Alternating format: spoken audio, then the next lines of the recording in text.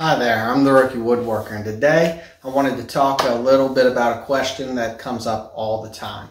And that's usually coming from new woodworkers or people who are looking to get into the hobby. And they often ask something like this Name five tools that you would recommend me to buy. And they seem like simple questions, but they're really quite complex. And that's because, one, I have no idea what, what budget you're working with the budget can make a huge difference in the tool selection that I would tell you to get. And two, I have no idea what you want to make. I mean, you got to tell me what you want to make, and I'll tell you what tools you need for it. But anyway, I'm planning on putting a, a rather large investment into this shop over the next year. So I want to kind of move on from rookie woodworker tools myself to uh, semi-professional tools. Um, so I thought right now would be the perfect time to take a moment and to do a shop tour video. That way you can see what this rookie woodworker's shop actually looks like and what I'm working with. I'm going to go over uh, some different tools that I've bought over the years that have turned out to be completely useless. Some some big waste of money here and there. Some stuff that I, have never used that I ended up buying. And uh, I'll go over uh, some stuff that's been absolutely awesome in this shop and some, some stuff that I, I wish uh, was a little bit better right now. Um, but yeah, uh, the best I can do here is to try to teach you through my experiences and then basically let you make your own decisions on what you want to buy. And, and yeah, so let's get to it. So the first place I want to start is the heart of my shop. That is the table saw. Yeah, this thing is actually the heart of my shop. It's the most important tool in my shop. It's the most used tool in my shop. Um, and it is tiny. This little, I call it my Barbie Playhouse table saw because it's it don't look like something that would be a tool, but believe me, it is dangerous. Uh, and and because of how chintzy and cheap it is, that's that's a big part of why it's dangerous. As you can see, it kind of wobbles around a good bit. It, it's lightweight, so when I go pushing some bigger material through it, I, uh, I have to strap some weights to it to hold it in place or else the, the bigger material ends up trying to push it over. Uh, but yeah, it's, it's super cheap. I bought this a long time ago before I even got into the hobby. Um, it was just something I bought to get some stuff done around the house as I needed to.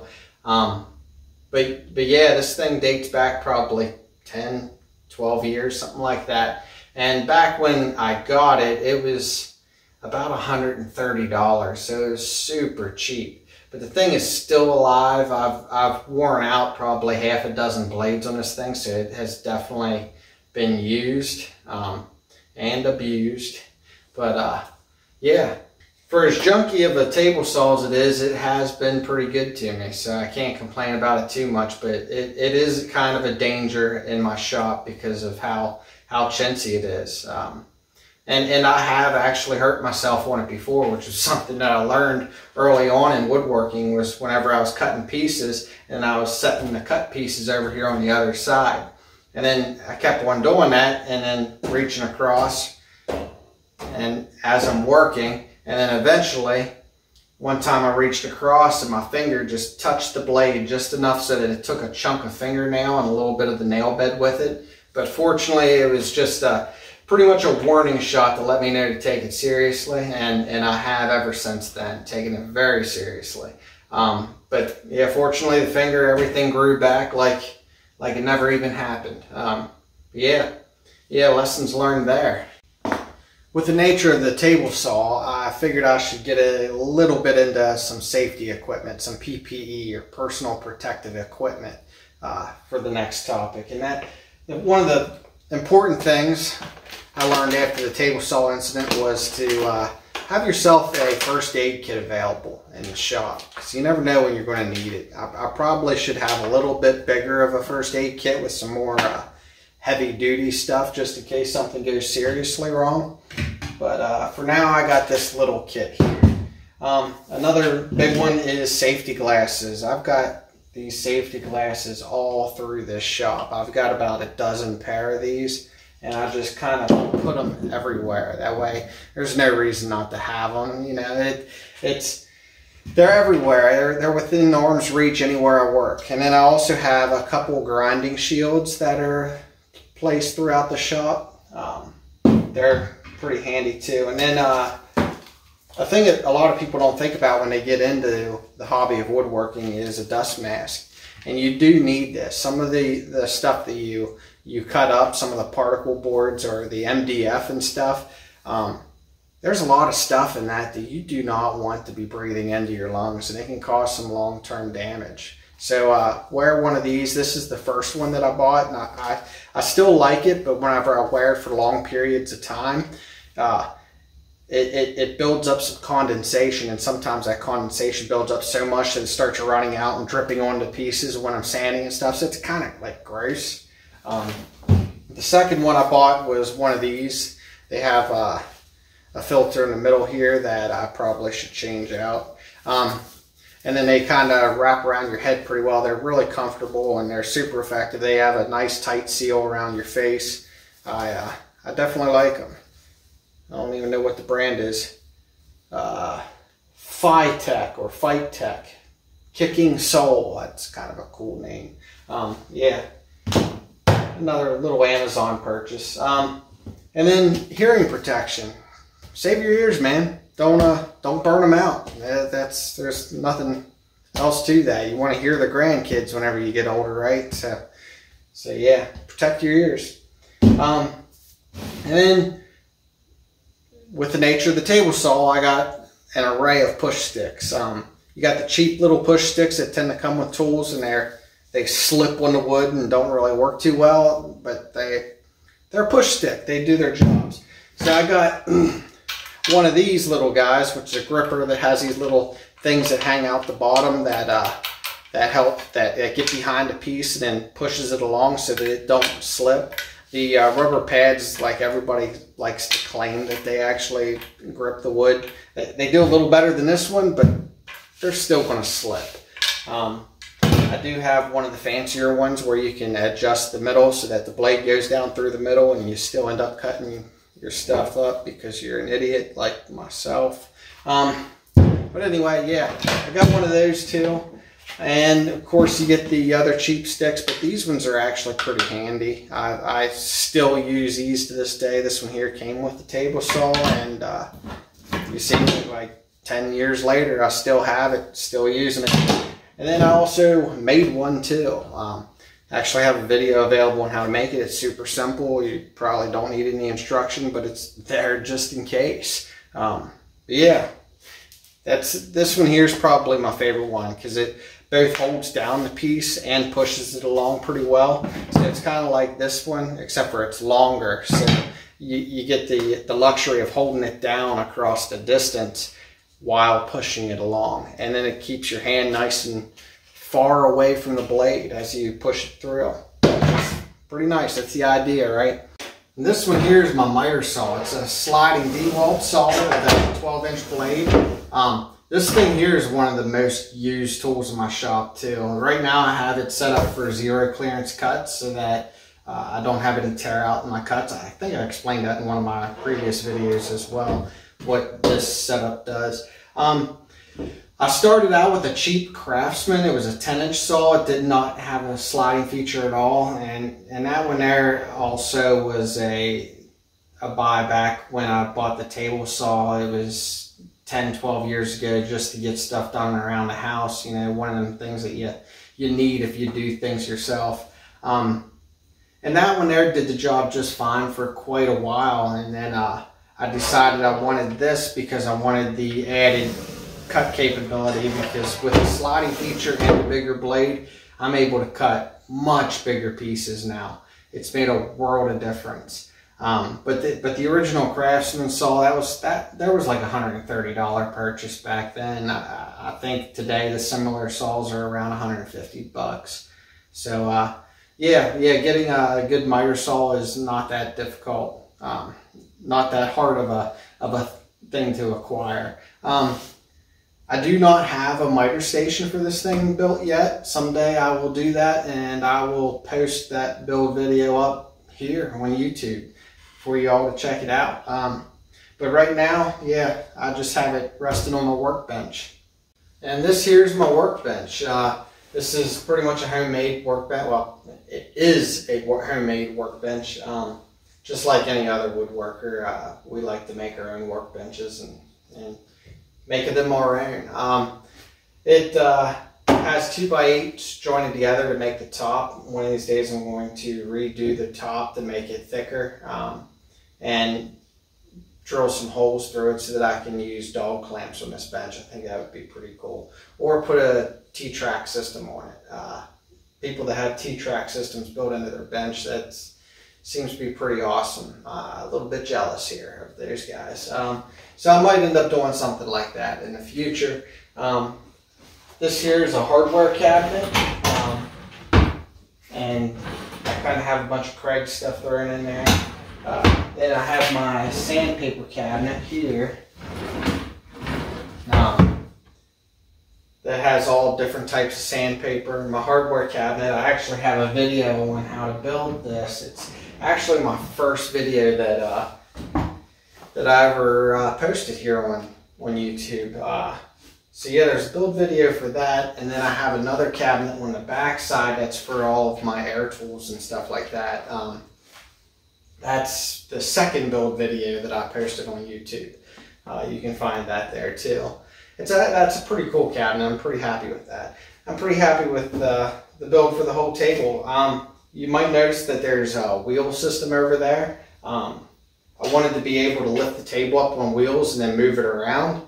Uh, and when I originally made this, I didn't have all these cabinets and wasn't storing like hundreds of pounds of stuff here and had a 90 pound saw that was sitting on top of it all the time.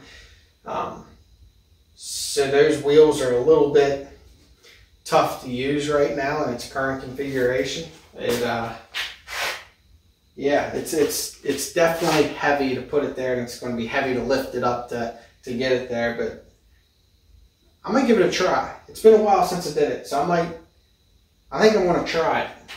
All right, let's see if I can do this. This is gonna be heavy. Get your game face on, Earl. Come on. Whew! I got it up. Heck yeah. Right, let's try the other side.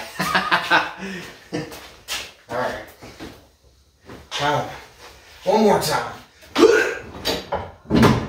Woo! Yeah. Still moves around pretty decent. Yeah.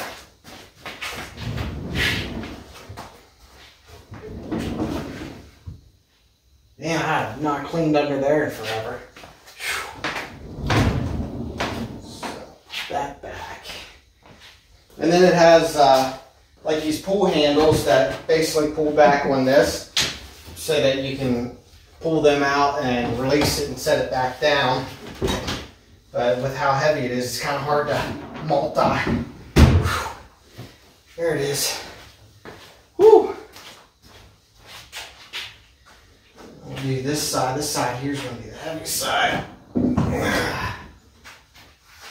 And we're back. So yeah, that's how that works. Then there's this little area here. that's kind of become a catch-all for all sorts of junk that I uh, work with at the bench because I'm terribly disorganized. If there's anything I could recommend, it's to be a little more organized than I am. But I, I want to talk about a few of the things that I that you'll find here. Like one of them will be um, utility knives.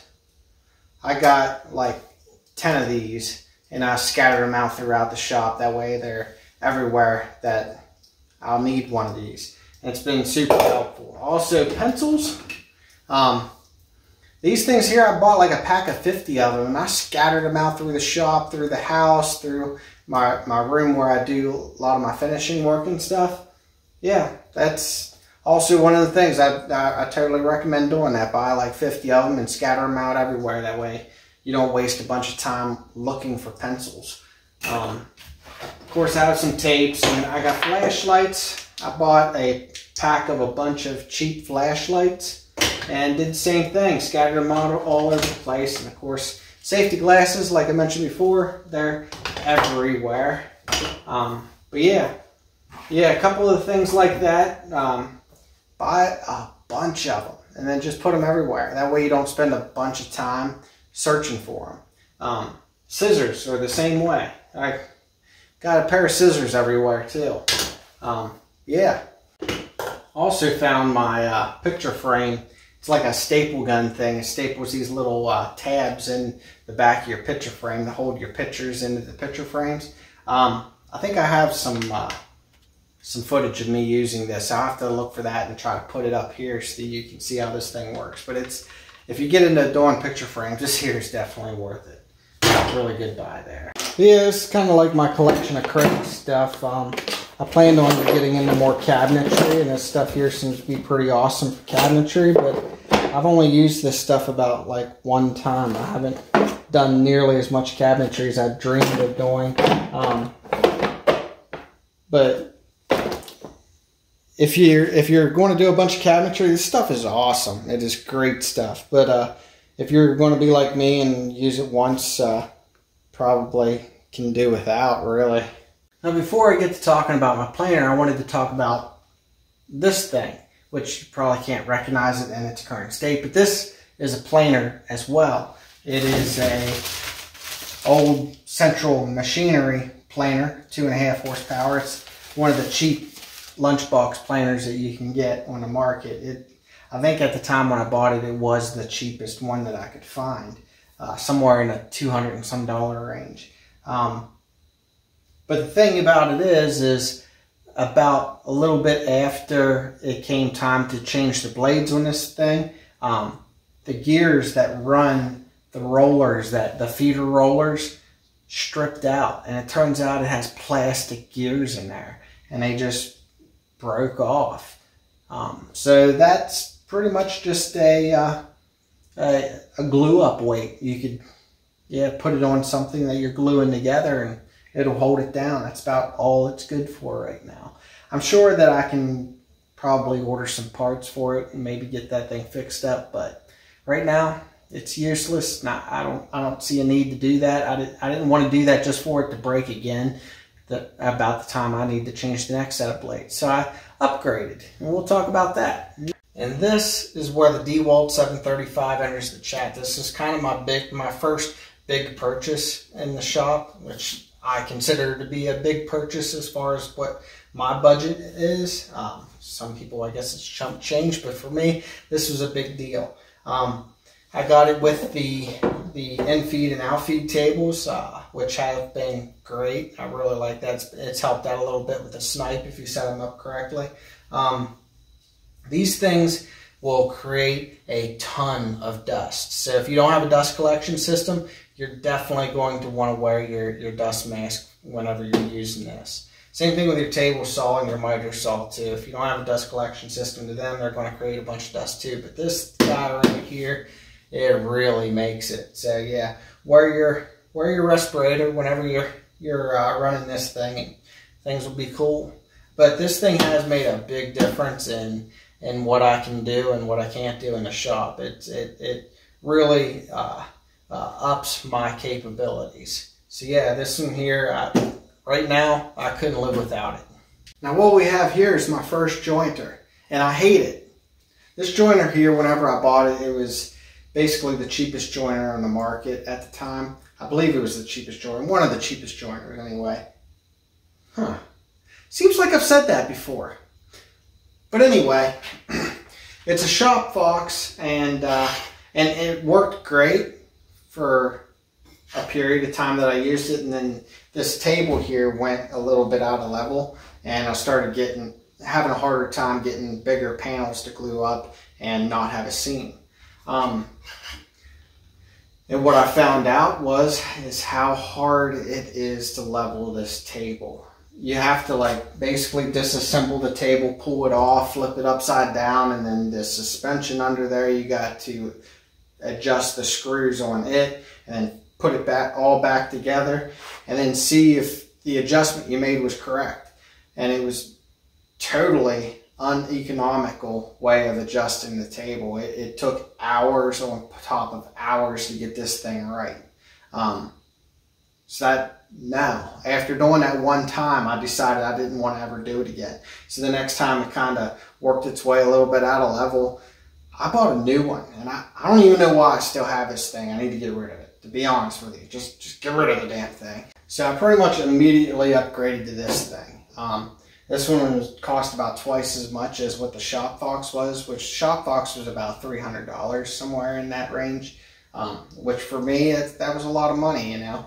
This thing here was about $600, so it was another expensive buy for me. Um, but it's eight inches wide, so I can throw bigger material at it. It's got these longer extended, these bars that extend the table length so that I can, it's nicer for running longer pieces across it.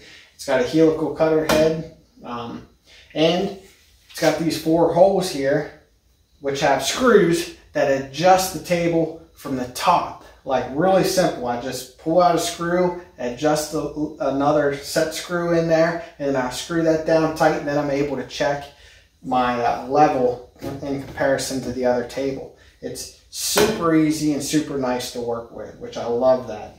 But the dust collection is kind of bad on this machine, especially if you're not running a vacuum on it. Um, it does not shoot chips out. It kind of just dumps them in the body and that just fills up. So you need dust collection for this machine or you just need to stop every once in a while and scoop that stuff out. But overall, I'm really happy with this machine.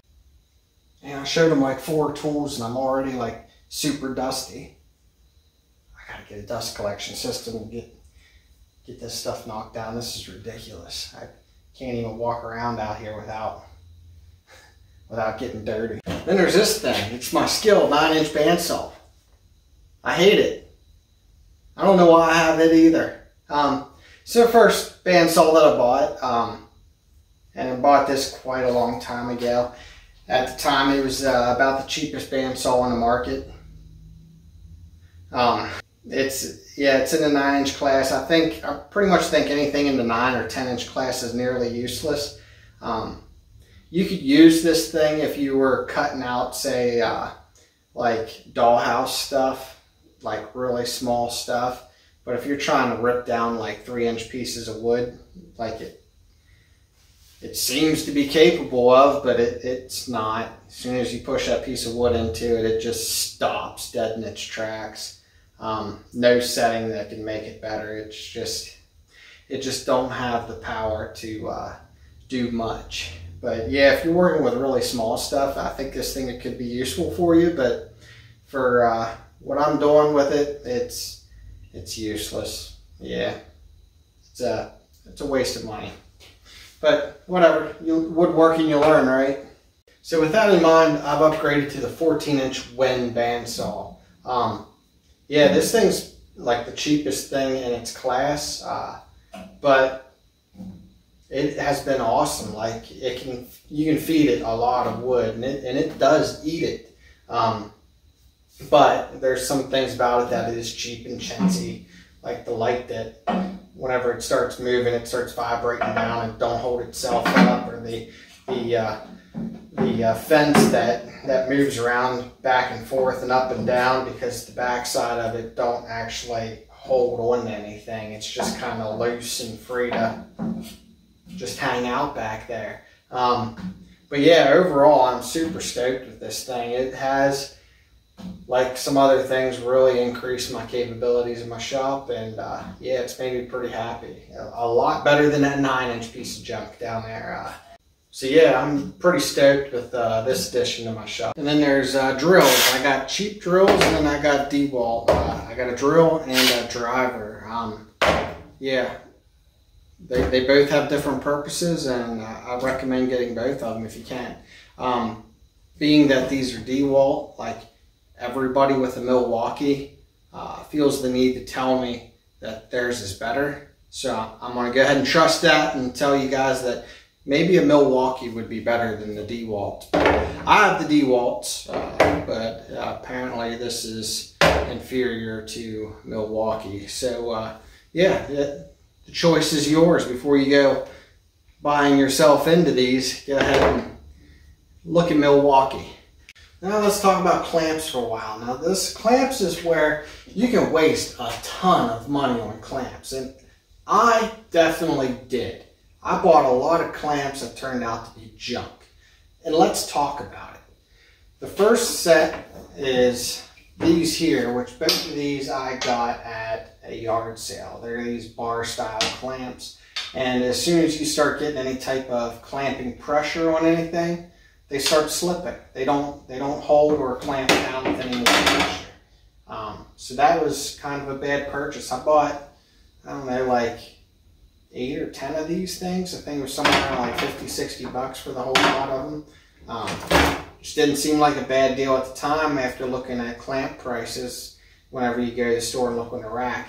So then I ended up buying these, which were newer clamps, and these were a Harbor Freight deal, I think. It's Pittsburgh clamps.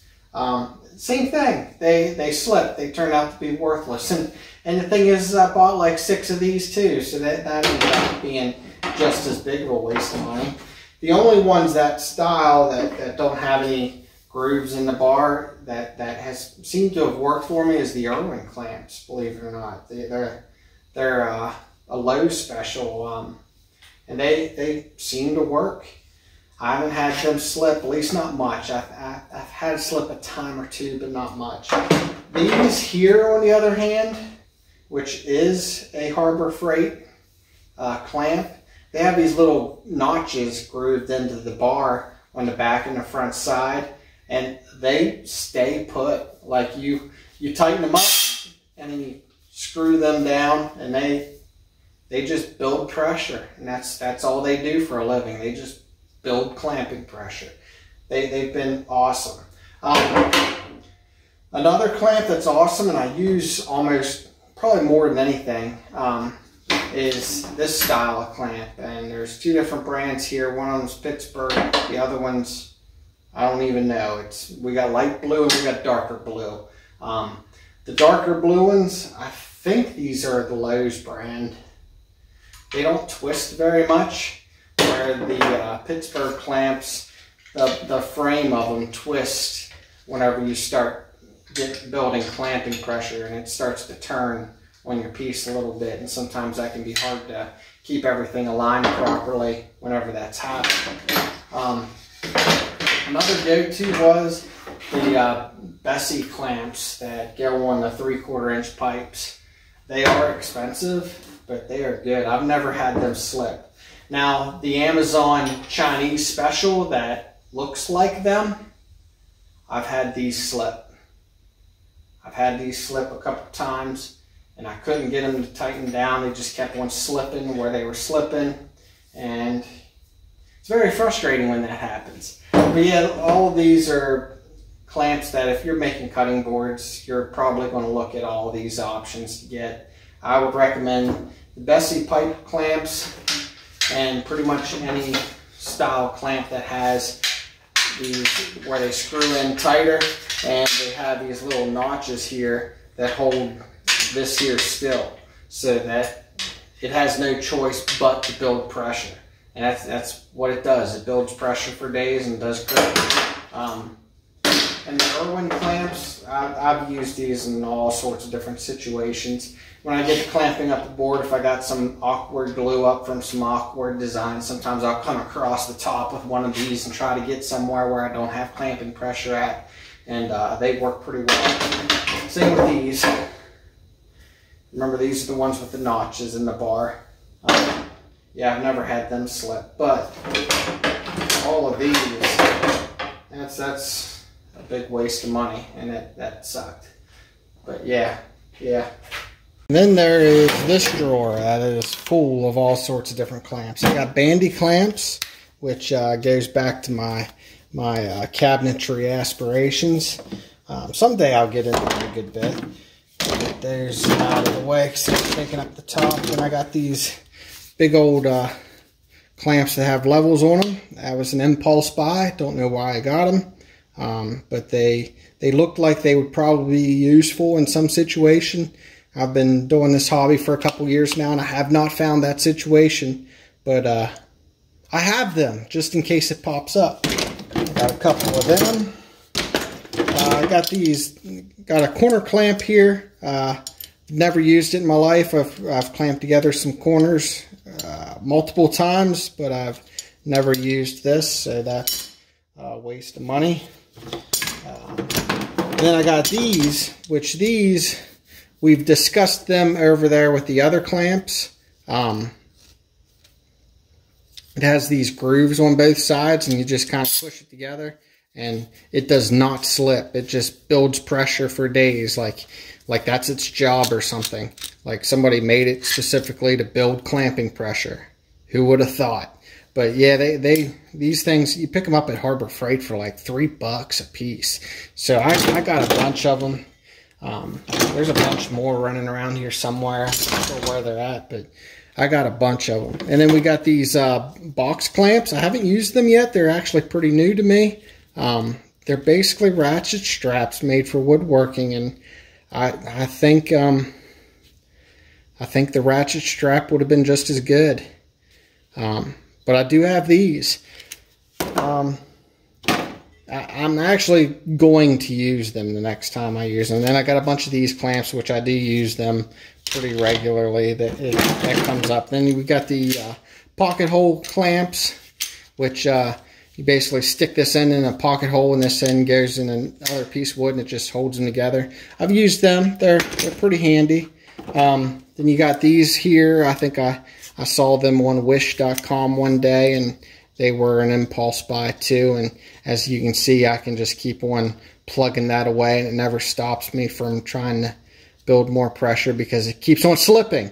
It's slipping. It's, uh, it's a waste of money, but you know, fortunately it was on wish.com and other than waiting for it for three months, didn't cost me a dime. Well, it cost me a couple dimes anyway. You know, wish, wish ain't free, but it's, and then we got uh, these corner clamps, which are pretty nifty. Whoop.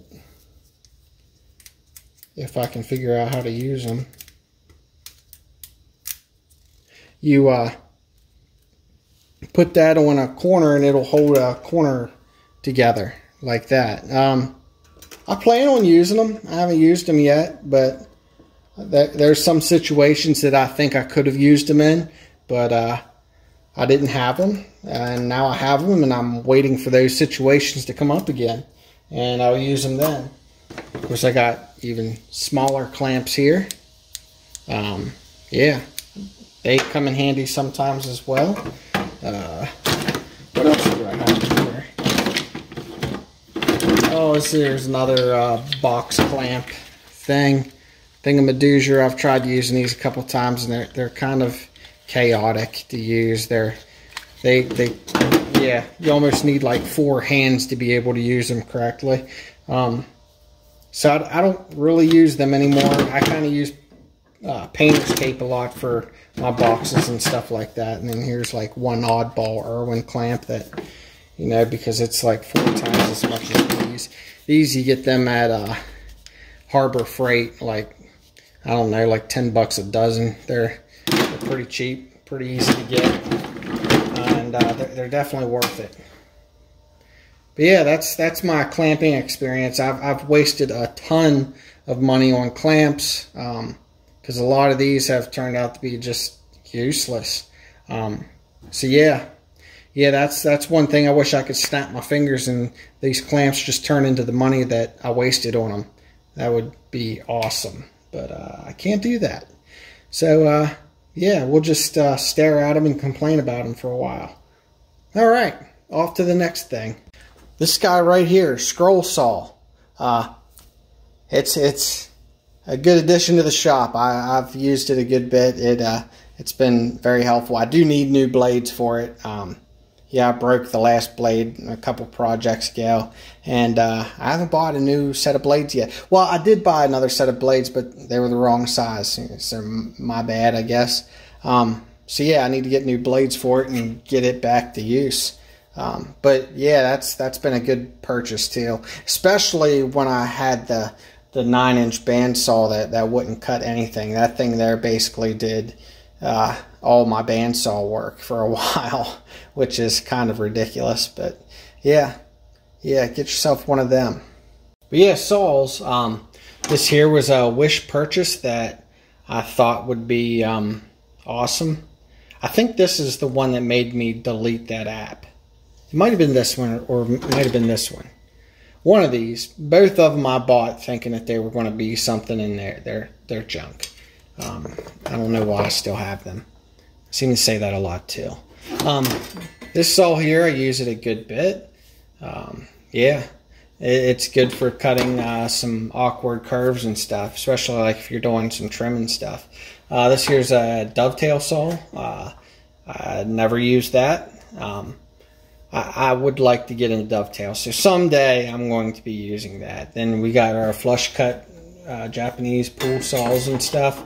Uh, and this guy here, uh, and that guy, which that guy there's kind of used and abused, but this guy here, I use it more often than anything. A Japanese pull saw. When I'm when I'm doing handsaw work, it's this one here. That's the way to go. Um, there's a lot of the saws that I have in the shop, like the bandsaw and stuff. I mean, you can do a lot of the work with the hand saws, and rather than going and purchasing uh, a big ticket item with a couple hundred dollar saw if you want to. These things here, like I mean, you're you're talking about 15 to 30 bucks a piece whenever you're you're buying hand saws. So it, it's not too big of a deal to get them. Spindle sander. I really thought that this was going to change the game in this shop, but uh, I don't use it very much. But I, I will say that the times I use it, it's it's second to none. Like there's there's nothing that would have done what I've done with this. Uh, um, yeah, other than hand sanding, th- this thing has saved me a lot of work in some situations. But fortunately, it's like a hundred and thirty dollar, hundred forty dollars, something like that. Uh, spindle sander, so it's not like it, it's going to break the bank, but uh, yeah, I don't I don't really get a lot of use out of it. But when I do, it's it's pretty important that I used it. So so yeah, I, I'm, I'm kind of torn. Uh, you you make the decision. Do you want one or not? Talk about measuring devices and stuff like that. I mean, this here was an impulse buy. It's one of them things you see on on some Facebook video or some talented uh, uh, talented uh, construction worker uses it to come up with some shape. Um, I've never used it, um, so yeah, but it's there. Got some some tools to find angles and stuff. I, I, have used these. I think they are valuable to have. But yeah, it's still kind of a tool that, like I impulse bought most of this stuff, and some of it has come in handy. But I I think with measuring tools and stuff, you should just buy it as your project's going to need it. Because uh, yeah you'll end up impulse buying and getting some stuff that you'll never use. Um, these are my corner clamps. Uh, these are actually relatively new. I haven't had a chance to use it but I do plan on using that. These this here's my uh, my uh, circle do flinky um, have never used it this here's another circle do flinky. Um, it, it, draws a line uh, in a circle. Um, I have used it, so it's it's come in handy. Um, this guy here has come very in handy. It's great for measuring or setting depth of stuff. So yeah, that's that's been a plus. Uh, tire pressure gauge. I don't know that you're going to need that in a wood shop. Uh, moisture meter. This thing is cheap. It's basically only going to tell me what the moisture is on the surface. There's like four and eight hundred dollar meters that that do a lot better at at uh, reading the the moisture through out the piece of wood. But this here, it, it'll get you a start. Um, of course, your levels. I mean, I got like four of them in here. This guy here has been really good for uh, measuring depth of stuff too. Um, yeah, it's been been awesome. Um, used it a good bit. Speed Square, I use this thing all the time, all the time. Um, not for all the, the good, awesome stuff that you can use it for, but I use it all the time, just trying to get a straight line across a board. That's my go-to right there. Of course, you got your 6-inch rule, and I got a 12-inch rule. Uh, they're, they're handy all the time. More uh, angle finding devices. I use them a good bit. Um, yeah. Then this guy here has been awesome, especially for um, for setting the, the uh, level of the table on my uh, jointer. This thing here is really coming handy for that. Um, sitting here waving it around now it's confused as to where it's at. Um, of course we got stud finders, so it don't find me, so I don't think it works. Um, tape measures. Um, tape measures, I try not to mix tape measures on projects, and, and I'll, I'll tell you why. Because 12 inches on every tape measure is not the same. I mean, some of them are, are off by as much as a half an inch from each other. So I use the same tape measure the whole way through a project. That way everything fits together perfectly. Um, yeah. And then here's a caliper, which tells you how how big an opening is on this side and or how thick something is right here. I've used that. That comes in handy sometimes. Um, yeah. And I got some electrical stuff in here that probably isn't needed in a wood shop, but I have it. Uh, yeah. Measuring devices. Good fun. Other thing I have is a junk drawer, just random tools. I got my scrapers in here. I got a lot of my knives and blades, which probably shouldn't have my blades just open laying in there just for like safety reasons. But I do because, you know, I, I live life on the edge sometimes. Another pair of scissors. Uh, got some scrapers here. Uh, a little bit of side cutters or dikes or whatever you want to call these things. There's a lot of names for them. Uh, channel locks, more of them. Uh, got some adjustables, some pliers, screwdrivers, all sorts of screwdrivers. Uh, got a uh, wire brush. Sometimes that comes in handy. I got uh, one of the marker knives for, yeah, marking out a piece. Um, so when you you get bored of using a pencil, you can use one of these. Uh, it does pretty good. Um, yeah, and it helps out with some chisel work too, because it, it, gets gets you started by cutting uh, a groove through the grain. Some utility knives. Yeah, the card scrapers. Um, card scrapers. Let see if I can find. This one. I use this sucker all the time scraping off glue and trying to straighten out straighten out some some lines and stuff. I I use this all the time, and it is great. Um, yeah, uh, I got some Allen wrenches for whatever reason I need them in the shop. Uh, flashlight. Oh, the batteries are dead. Well, that's not cool. Um, yeah, it's basically a junk drawer. Pretty much what I said it is. Bunch of junk. And these are all my sanders. It's kind of my sanding drawer. I got um, angle grinders here. I got the palm sander. I, once I got an orbital sander, I never touched the palm sander again.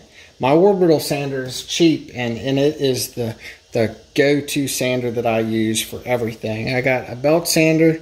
I got another belt sander. I think that one's bad. I don't know why I don't throw away the bad stuff, but I don't for some reason. And I've got a uh, planer. Uh, it's kind of a hand planer. It's functions like a jointer, but it, it's it works like a uh, like a sander, but it it works kind of like a hand plane too. Like that's kind of I think what it's designed to be is like a hand plane, but I, I never use that either for some reason. Then I got uh, jigsaw. Um, I don't use this very much. It's kind of a rare situation where when you need to use it, it's the only tool for the job.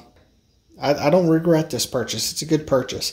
Actually, when I was a kid, I hurt myself on one of these um, in shop class back in like high school. Um, what I was doing was just running a small piece through it, like something you would normally run through a scroll saw.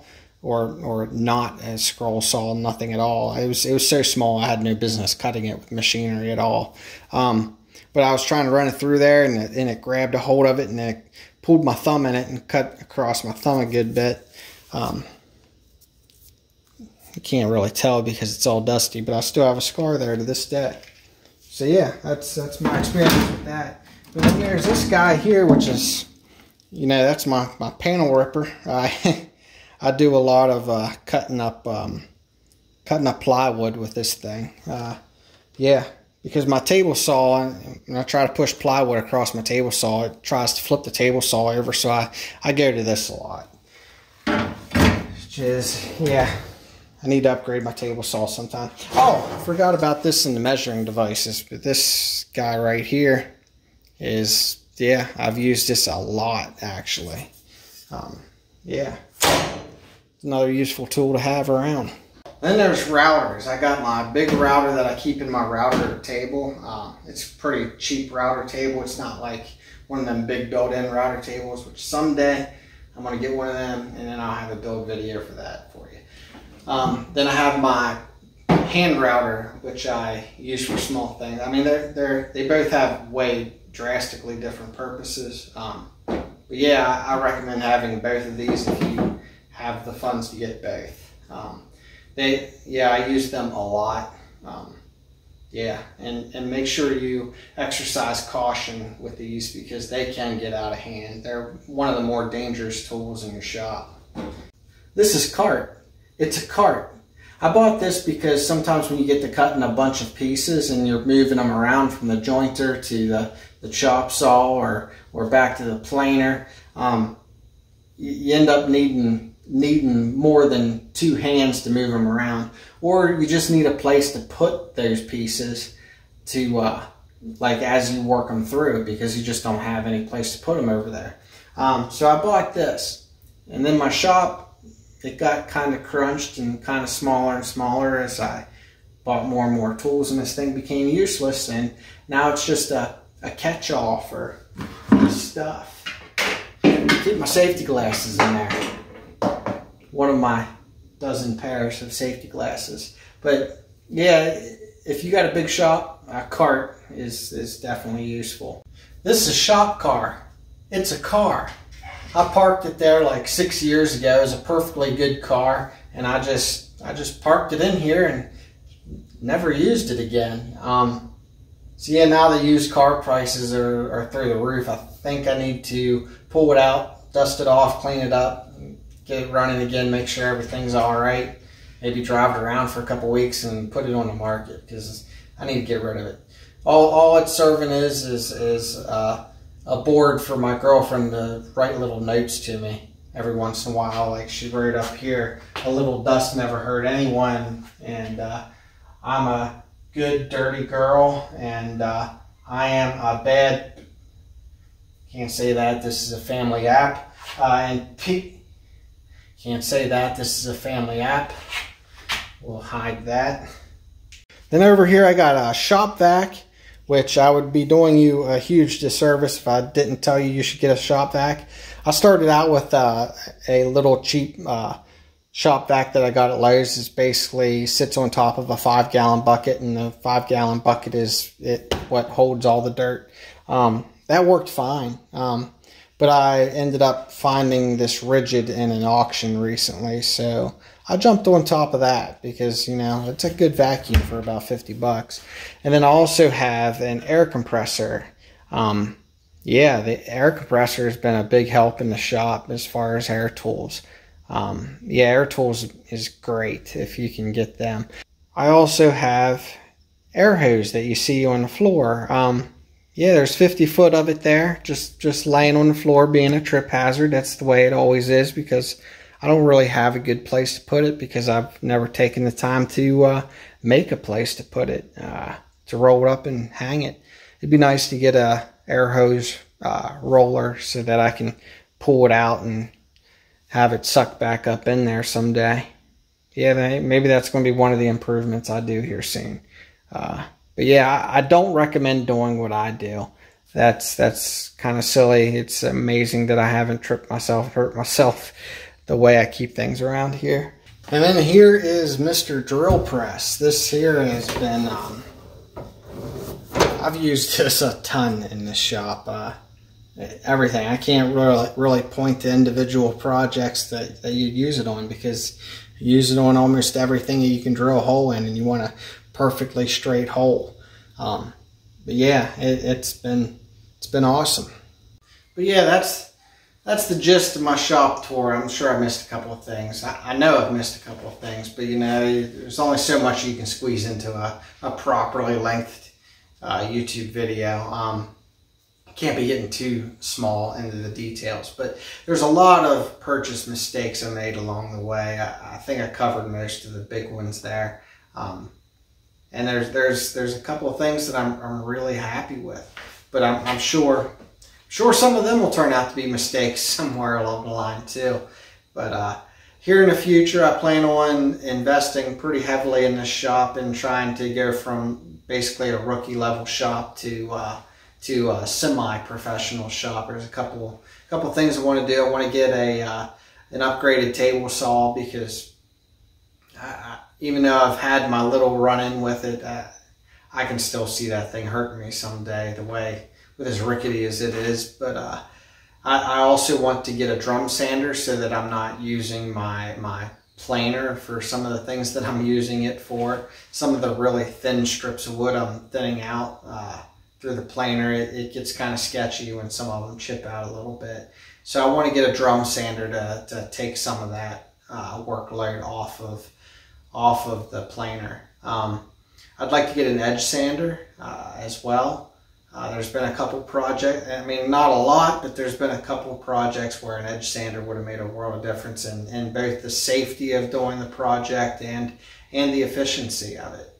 Um, I also and probably the most important thing is is dust collection. I need to work on dust collection. I, this shop gets way too dusty. Um, it's bad for my health, even though I, I, do pretty good at wearing a respirator stuff and, and stuff like that. Just but when I don't wear one and I'm out here moving stuff around, like making this video as I'm moving equipment around, I, I'm stirring up dust and I'm breathing it in. I'm going to go blow some brown bookers out here after this. Um, so yeah, dust collection to try to knock that down. If I get that installed, then I need to do a big deep cleaning in this shop. And, and I want to get one of those uh, air purifiers for woodworking shops that you hang up on the ceiling. Um, get one of those as well to try to help out with that too. Um, because, you know, I'd like to do this uh, long term and I would also like to live long term. So I want to take care of my lungs by uh, making sure I get proper dust collection and air ventilation and air purifying in this shop. Um, so yeah, there, there's a there's a good bit of stuff I want to do around here. I want to improve the windows so that my neighbors don't get annoyed with me and being in here running saws all the time. So I'm gonna improve the windows to try to help out with uh, soundproofing some stuff and uh, and I also want to heat and cool the shop because I live here in Pennsylvania so we have pretty big hot days in the summer where we, we probably have about 30 days a year where we're over 90 degrees around here. But then in the winter time, we have probably 30 days a year where we're uh, under 25 degrees. Um, so we have pretty extreme imbalanced weather here. So I'd like to have a little bit of a heat and AC system. Probably going to be one of them giant window units. Um, something that just knocks the cold out a little bit and knocks the heat off a little bit. I'd like to be able to keep it between 80 degrees and, and 50 degrees if I can. That's kind of the goal. But uh, come come back around another year and I might make another one of these videos and you can compare the progress then. Hopefully, hopefully I make a good bit of progress. Because uh, I'm calling it here. I'm going to make some progress by next year with this shop.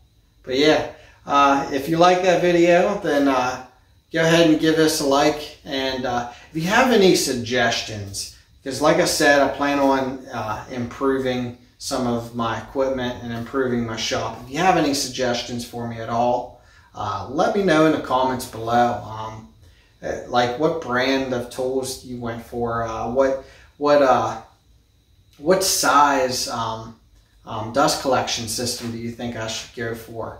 Um, yeah, I'd like to know how much air this system needs to move. Like, like what do you guys run in your shop? Um, yeah, and, and if you have any more uh, suggestions for new woodworkers, like any tools that you don't see me working with, um, that you think they should work with and, and learn how to use, or think that I should learn how to use, uh, drop it in the comments below. I'll, I'll read them all. I might respond to it, might just give it a thumbs up. Um, but, but I will read them all. Um, yeah, it's just, just beat up them comments below. Let me know. Um, but yeah, if, if you want to follow along with my progress and see more videos from me, uh, hit that subscribe button and, uh, and follow along. Uh, I plan on keeping on posting. Uh, we'll see how this goes. But uh, till next time, make something awesome.